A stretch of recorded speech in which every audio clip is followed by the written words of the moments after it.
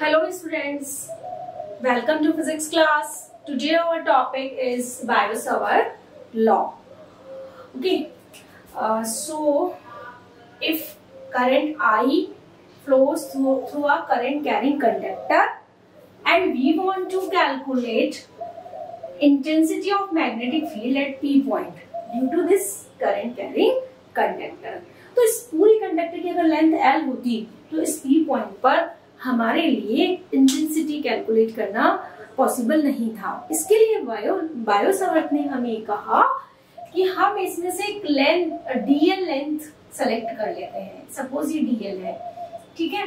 और इससे इसका जो डिस्टेंस है, वो सपोज़ मान लीजिए आर है। यहाँ से यहाँ तक का डिस्टेंस कितना है? आर डीएल और आर में बनने वाला एंगल कितना है? थीटा राइट डीएल और आर में बनने वाला एंगल कितना है? थीटा डीएल का डायरेक्शन वही होगा, जो करंट का डायरेक्शन होता है। तो intensity of magnetic field at point P suppose that is db ठीक है? स्मॉल अमाउंट होगा ना इंटेंसिटी का तो db is directly proportional to the dl number one अगर लेंथ एलिमेंट इंक्रीज करोगे, यानी कि स्मॉल एलिमेंट को इंक्रीज कर दोगे तो इंटेंसिटी इंक्रीज हो जाएगा।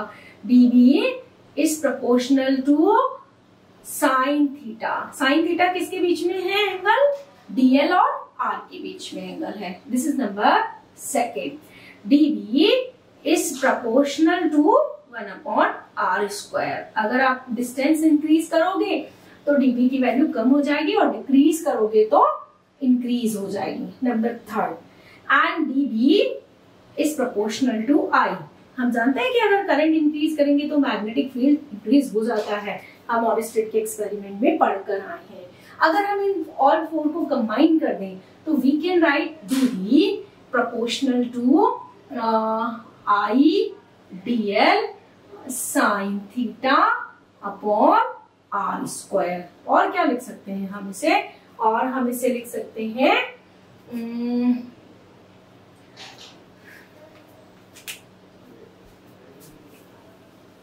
और क्या लिख सकते हैं? D b equals to mu naught upon four pi I d l sine theta upon r square this is the scalar form इसका क्या है ये? स्केलर फॉर्म है।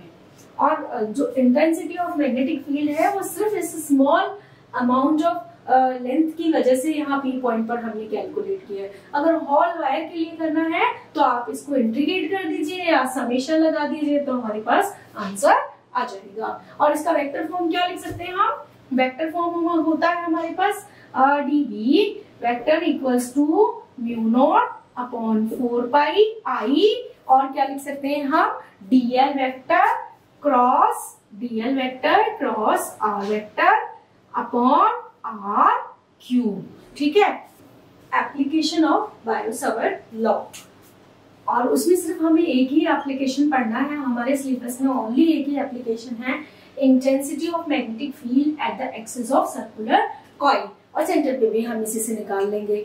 और आप ये भी मानिए कि ये वाला, ये क्वेश्चन अगेन वेरी इंपॉर्टेंट इसी साल बोर्ड एग्ज़ाम्स में ये क्वेश्चन थ्री मार्क्स में आया है हमारे पास में राइट देखिए, एक सर्कुलर कॉइल है, इसको प्लेन के परपेंडिकुलर रख दिया है हमने। कॉइल को प्लेन के क्या किया है? परपेंडिकुलर प्लेस कर दिया है।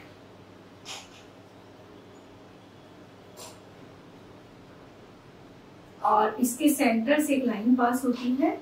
यहाँ पर पॉइंट है पी जिस पर हमें intensity of magnetic field calculate करना है। ओके और यहाँ से यहाँ तक का डिस्टेंस है। सपोज़ एक्स और इसका जो रेडियस है, वो मान लेते हैं हम ए ओके और यहाँ पर हमने, ये करंट का डायरेक्शन है आई ये वाला ओके एंटी क्लॉकवाइज यहाँ पर हमने एक एलिमेंट मान लिया है ए बी जिसको हम बोलते हैं डीएल और इस दो, इसी का एक मतलब दो आइडेंटिकल एलिमेंट है ए बी और सी डी जस्ट इसके अपोजिट और इस इन क्योंकि बायो जो सवर्थ लॉ है, वो एप्लीकेबल किसके लिए होता है? छोटी एलिमेंट्स के लिए ही एप्लीकेबल होता है, छोटे लेंथ के लिए एप्लीकेबल होता है।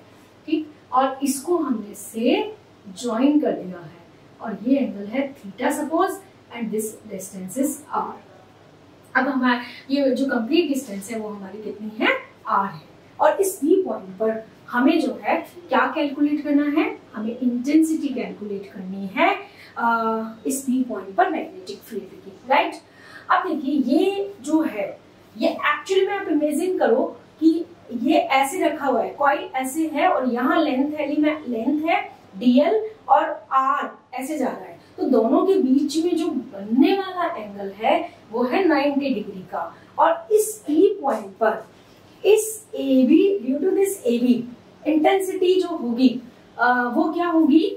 डी बी इक्वल्स टू हम लिख सकते हैं वो mu naught upon four pi I d l sine theta upon r square how much theta अभी मैंने थीटा किसमें है? डीएल और आर बीच के बीच में बनने वाला एंगल है। और वो अभी मैंने आपको बताया कितना था? 90 डिग्री कितना है? 90 डिग्री तो डी बी इक्वल्स टू हम लिख सकते हैं mu naught upon four pi I d l sine 90 degree upon r square then we can write mu naught upon four pi I d l upon r this is equation number one similarly CD की वजह से भी इतना ही हमारे पास intensity होगा। ठीक है? And uh, अब देखिए इस पर जो मैग्नेटिक फ़ील्ड जो होगा उसका डायरेक्शन क्या होगा? देखो ये है आपका करंट का डायरेक्शन तो मैग्नेटिक फ़ील्ड का डायरेक्शन आउटवर्ड अगर रिंग हमारे हाथ में ऐसे होता तो आउटवर्ड होता इसका डायरेक्शन यानी ये जो है वो किसका डायरेक्शन है? मैग्नेटिक फ़ील्ड का डायरेक्शन है. ठीक? और अगर हम यहाँ एक परपेंडिकुलर ड्रॉ कर लें तो हमारे पास ये जो एंगल होगा, वो होगा 90 माइनस थीटा राइट और डीबी को टू कंपोनेंट्स में रिजोल्व कर रिजोल्व कर लो आप। तो रिजोल्यूशन करोगे तो यहाँ पर आएगा हमारे पास में क्या?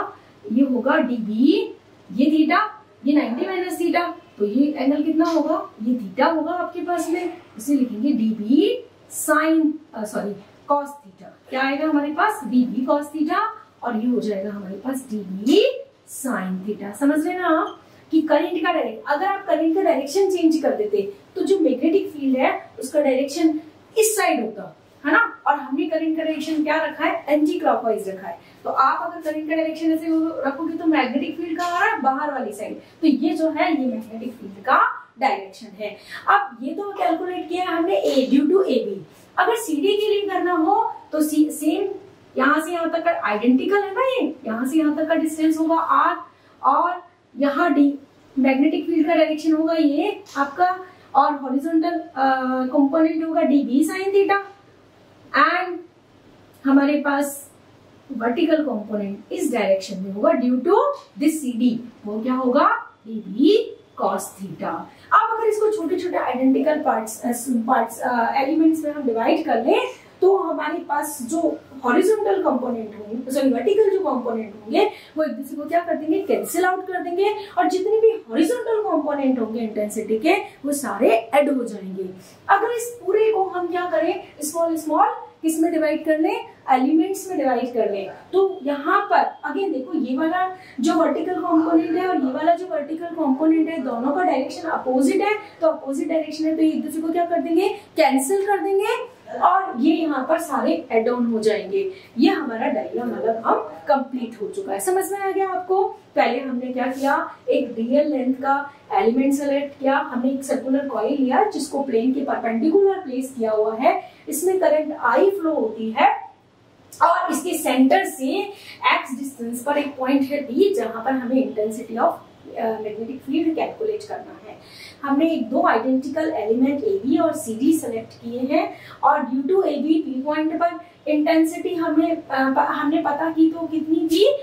D b equals to mu naught I d l upon r square क्योंकि यहाँ से यहाँ तक का डिस्टेंस कितना है? आर स्क्वायर आर और डीएल में एंगल कितना था? नाइनटी डिग्री का एंगल था। वो हमने कैलकुलेट कर लिया और डायरेक्शन से जो डीबी का डायरेक्शन आया, उसको टू डायरेक्ट डीबी के डायरेक्शन ये है, इसको टू पार्ट्स में हमने क्या कर लिया है? डिवाइड कर लिया है रिजोल्यूशन ऑफ़ वेक्टर कर लिया।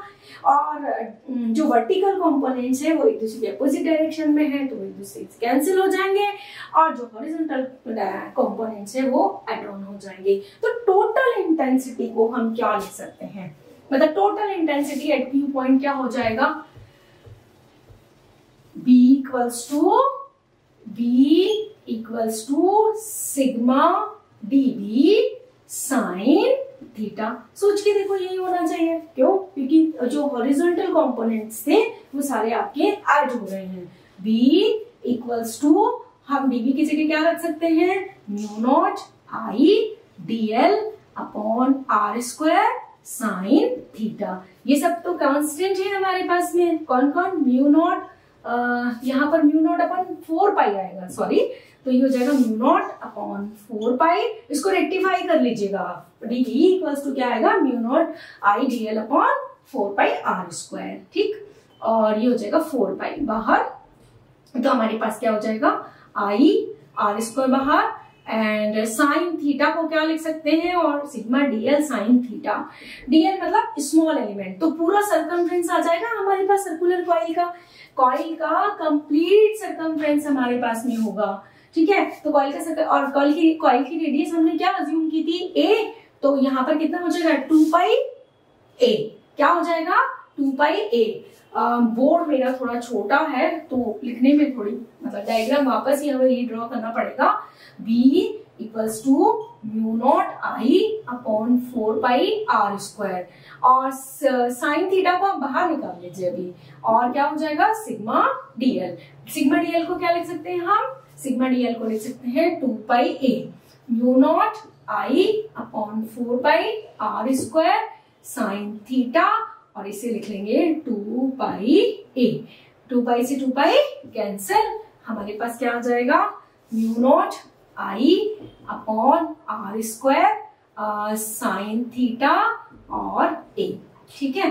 और ए और इसको करेंगे आप टू यहाँ पर। राइट टू से कैंसिल करा ना हमने तो फोर टू बाई को फोर बाई से कैंसिल किया तो ये हो जाएगा हमारे पास टू।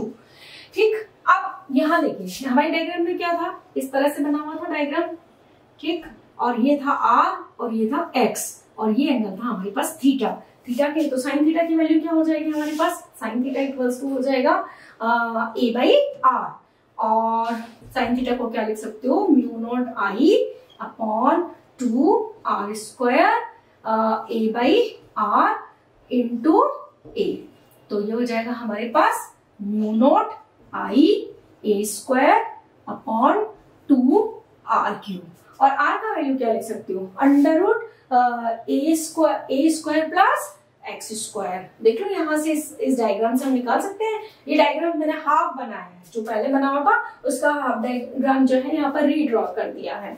तो हमारे पास आर का वैल्यू कितना आ जाएगा? आर का वैल्यू आ जाएगा आर का वैल्यू का under root a square plus x square तो B equals to we can write mu naught I a square two r की जगह क्या रखेंगे हम यहाँ पर? Under root a square plus x square is to power three और क्या लिख सकते हैं हम इसे? और हम इसे लिख सकते हैं mu naught I a square upon two a square plus x square raised to power 3 by 2. This is the intensity at P point, uh, intensity at P point of the uh, axis of the P point of circular coil, right?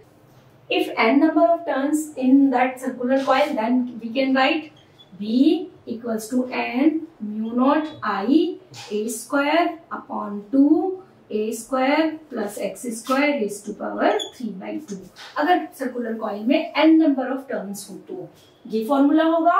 और अगर P point centre पर होता if P point at centre if P lies at centre